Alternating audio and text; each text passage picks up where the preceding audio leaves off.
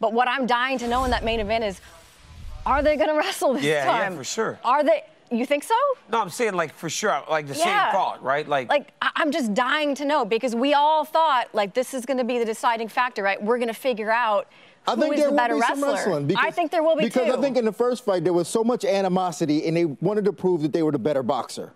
I think this Yeah. is the time they're going to want to prove who's the better wrestler. Yeah. I, I think it comes down to Covington more than Usman because I think Covington needs to get takedowns because he has to use it to try to tire Usman out. I think that was probably the biggest surprise for him in fight one was that the pace that he put on Robbie Lawler on RDA. You remember in Phil, I mean in, in Newark. Yeah. What he did to Robbie, that pace he put on him was, Was crazy. insane. But the pace was insane, not only from the hands, but also all the takedown attempts Robbie had to ward off.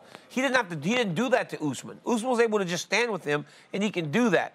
He needs to try to wrestle him more, make him scramble, make him just roll around on the ground to try to really attack the gas tank of Usman if he wants a chance. Because if he just stands with him with the improvements Kamaru's made, he's gonna get knocked out again uh, if he's not careful. Yeah, I mean, he fought a very uncharacteristic. Colby did. That was a very not unchar- Colby. No, because Colby uses a lot of movement, a lot of feints, takedowns, and in this, in that first fight, all he did was stand there and box, and he took too many body Hey, shots. remember he had his hands down? Yeah. He told me that. I spoke to him and he was like, you know, I wasn't myself. I didn't follow the game plan. Yeah. He goes, I'm in range with my hands down. I'm just taking the shots.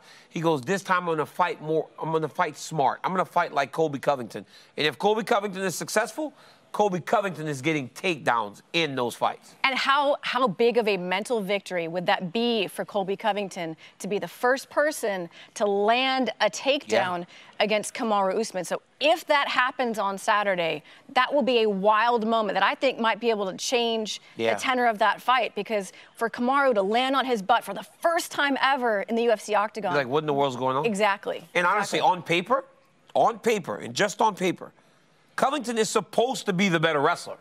Covington is the guy He that was more an NCAA. All American, Yeah. right? Kamaru was a great wrestler in Division Two, national champion. But on paper, that Division One All American is supposed to weigh more. But ultimately, we have seen in many occasions that it doesn't just come down to that. We've seen guys like Yoel Romero get Yeah, taken on the right, by right, Derek right. Brunson.